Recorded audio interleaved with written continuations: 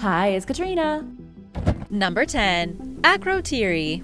Akrotiri is one of the most likely candidates for the location of the lost island of Atlantis. According to the only source for the myth of Atlantis, the Athenian philosopher Plato, the Atlanteans lived somewhere beyond the Pillars of Hercules. In antiquity, this was the Strait of Gibraltar. If what Plato said was true, this would put Atlantis somewhere between Europe and America, in the middle of the Atlantic Ocean. However, historians believe the Minoan city of Akrotiri on the island of Santorini is the most likely location for Atlantis. Around 1600 BC, an eruption from a volcano and Santorini decimated the city. The eruption was so immense that tsunami waves spread across the Aegean Sea and destroyed Minoan cities on Crete. Surprisingly, this fits in almost perfectly with Plato's story of Atlantis. He claimed that the gods were upset with the Atlanteans and destroyed their civilization overnight with great calamity, leaving nothing but mud behind. If you think about it, that description sounds an awful lot like a tsunami. The most likely series of events here is that Akrotiri was destroyed, the island of Santorini was blanketed in ash, and the Minoan civilization vanished. About 1,000 years later, Plato recounted the tale of that tragic destruction in his writings regarding the myth of Atlantis. In other words, Atlantis was very real, but it was already a thousand years old when Plato was born. To him, the destruction of such a place would have been a mythical event, and so he thought up a story to match the legends. Number 9. Donana National Park Supposedly, Atlantis had 10,000 chariots at their disposal, an extremely powerful army, and highly advanced technology. As reported by Plato, they had elephants, bulls, and complex canals to help with sewage and water management. He described what was clearly a flourishing society. According to a group of archaeologists from the UK, Plato was talking about a society on the Atlantic coast of Spain. Bruce Blackburn, CEO of the company Merlin Burrows and his team, used data from commercial satellites to locate a place in Spain's Donana National Park that they believe was the original city of Atlantis. Surprisingly, the location they found fits well with Plato's description. It's beyond the Pillars of Hercules and could be mistaken for a large island. The Spanish coast, of course, isn't an island, but some people may have thought so. Within the national park, the team found a lot of mysterious remains. They uncovered circles that could have been the bases of large towers and discovered the ruins of what appear to be temples.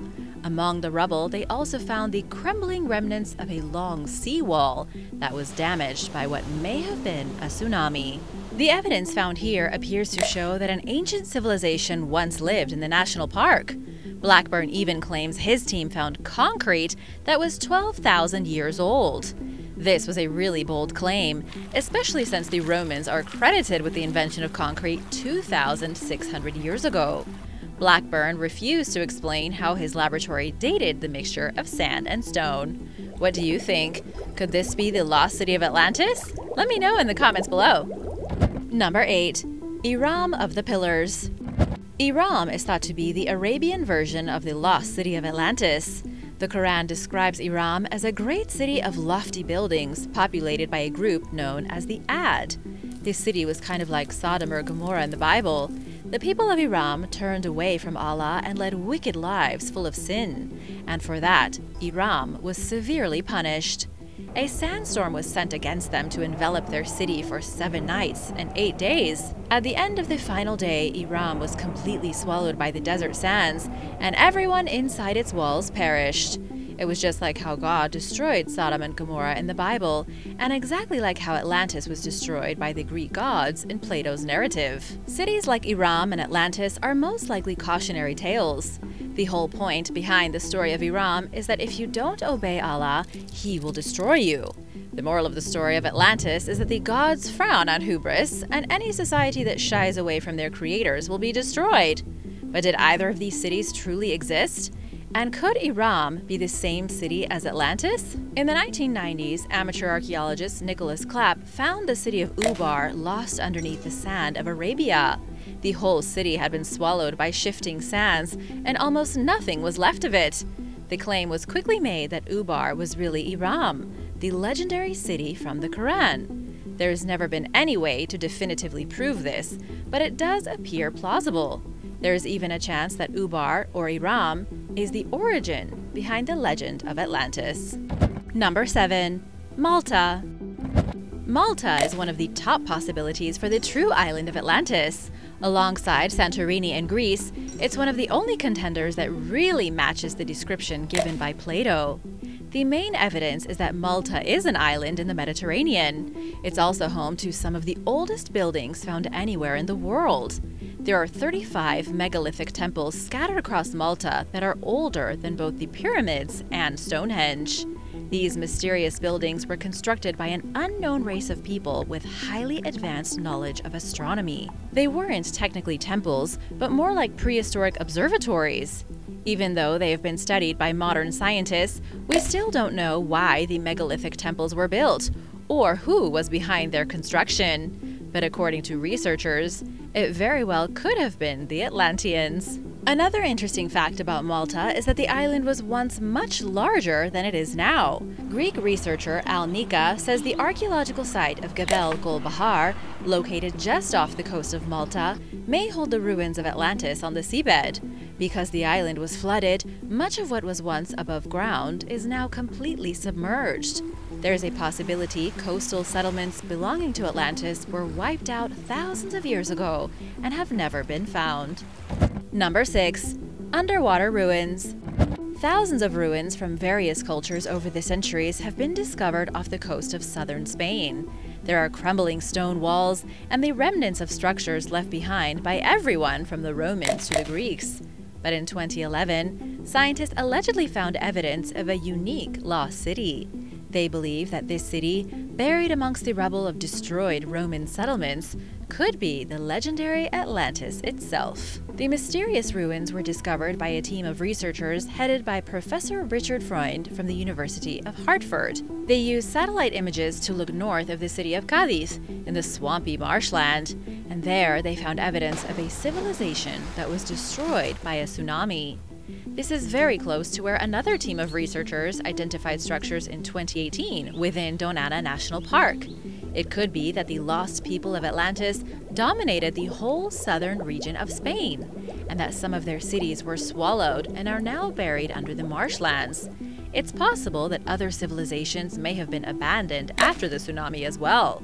Either way, there does appear to be something hidden under Spain's southern marshes, and it could be the bones of Atlantis. And now for number five. But first, it's shout out time. I want to say a big thank you to Trevon Willie and Eric Mack for supporting this channel. If you are new here, be sure to hit that subscribe button and join the family. Number 5. Ice Free Antarctica Held within Istanbul's famous Topkapi Museum is an artifact called the Piri Reis Map. It's an outline of the world that was created in 1513 using information from over 20 different maps of the Earth, including charts used by famous explorers like Christopher Columbus and Vasco da Gama. It was Turkish adventurer Admiral Piri Reis who drew the map two decades after Columbus stumbled upon North America. The strangest part about this map is that it shows Antarctica connected to South America, not as its own continent. There is even a picture of a snake on Antarctica, and it's completely devoid of ice.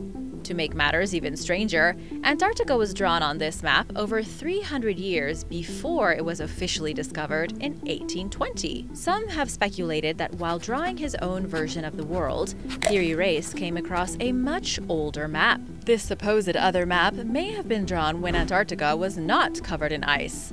During that time, the continent may have been dominated by a mysterious civilization, possibly even the Atlanteans. Number 4. Yonaguni one of the most incredible discoveries in underwater history was made in the 1980s by a Japanese diver named Kihachiro Aratake. He was swimming in the waters off the coast of the remote Japanese island of Yonaguni and came across something unbelievable. He discovered a megalithic structure that looked like a pyramid, or an underwater Machu Picchu as he described it. This site is now known as the Yonaguni Monument, something that may have once been part of the lost city of Atlantis. It's been four decades since the monument was discovered, and we still don't know what it is or who built it. Some say it was constructed by aliens, others claim it's just a natural rock formation. But nobody can agree. Is it archaeological or not? It's very hard to see, and Aratake has been dedicating his life to get people down there at least to look for artifacts. He is convinced it is an ancient monument and says it's massive. Over the years, he has found huge columns complete with surrounding roadways. It even boasts smooth walls that look like they were carved using advanced tools. The structure is only about 15 feet deep, meaning it could have easily been above water 10,000 years ago. The monument has been largely ignored by the scientific community and by the Japanese government, yet amateur divers have surveyed what appear to be the sunken ruins of a large city with towering pyramids. Some believe this is the real Atlantis, hidden off the coast of Japan. But of course, that is far from Plato's homeland in the Mediterranean Sea. Number 3. Atlantis of the Sahara The lost city of Atlantis could be hiding in plain sight in an extremely unlikely place. There have been rumors circulating that the ancient city is not an island in the Atlantic Ocean or submerged in the Mediterranean Sea. Instead, it might be in Africa, in the country of Mauritania.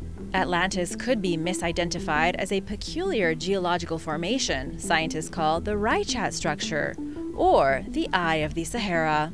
Officially, the Eye of the Sahara is nothing but an anomaly to scientists. The structure is said to be a geological dome that eroded over millions of years. The dome crumbled, exposing layers of sedimentary rock in the form of concentric rings. What we see today is the collapsed dome looking like a swirling eye in the middle of the barren desert. According to another theory, the eye was once the ringed city of Atlantis.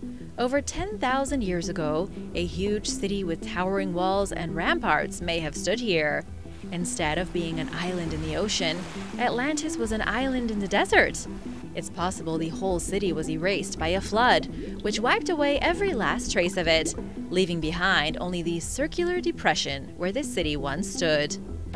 Number 2. Atlantis of the Azores Another proposed location for the ancient city of Atlantis is the Azores Islands near Portugal. Archaeologist Nuno Ribeiro with the Portuguese Association of Archaeologists Research says the Azores were made by human hands thousands of years ago. He says the islands we see now are only the mountaintops of the original landmass sticking out of the ocean. In truth, the Azores are a small group of islands about 900 miles from the coast of Portugal. And yes, the parts sticking out of the water are technically the tops of mountains. It was in the early 1900s that Pierre Termier, a French geologist, discussed in a lecture how the Azores were only recently submerged. He believed the Azores were originally much larger and sank suddenly beneath the surface. However, his theory is only partially true. The Azores are volcanic, and they do descend 3,300 feet to a plateau rather abruptly once underwater. If you were to drain the water from the ocean, these would be huge mountains rising from a flat piece of land. But scientists have done tests that prove the Azores have been submerged for many millions of years. A civilization could have been living on these vast mountaintops 10,000 years ago. It's also possible the sea level rose just enough to submerge the cities of the mysterious civilization living here. But there is no proof to definitively confirm whether it was Atlantis or another unknown empire. Number 1. Aztlan Aztlan is the mythical home of the Aztec people. In the legends of the Aztec, they reached central Mexico after abandoning their homeland, Aztlan. It was described as a great and bountiful island where the Aztec lived in peace and harmony. It's an important part of Aztec myths, and that's exactly what makes it so hard to explain from a scientific point of view. Experts don't know if the Aztec really did come from a mythical homeland, or if the whole thing is a work of fiction. Some historians have argued that Aztlan was merely a name for northern Mexico, where the Aztec likely migrated from. Others believe it could have been a very real island somewhere in the Atlantic Ocean. If Aztlan was an island somewhere between Europe and North America, it could have been the lost island of Atlantis. The Aztec may have had a great society thriving on this mysterious island 10,000 years ago, only for a calamity to strike. The Aztec were forced into their boats and made to paddle until they wound up in North America. and from there they migrated to what is now Mexico City. However, this is all just speculation and no such island has been found. But Aztlan is a real place in Aztec mythology that most likely has an origin in reality. After years of searching, the Atlanteans could have really been Aztec. Thanks for watching! Where do you think the real location of Atlantis could be? Let us know in the comments below, and don't forget to subscribe. See you next time. Bye!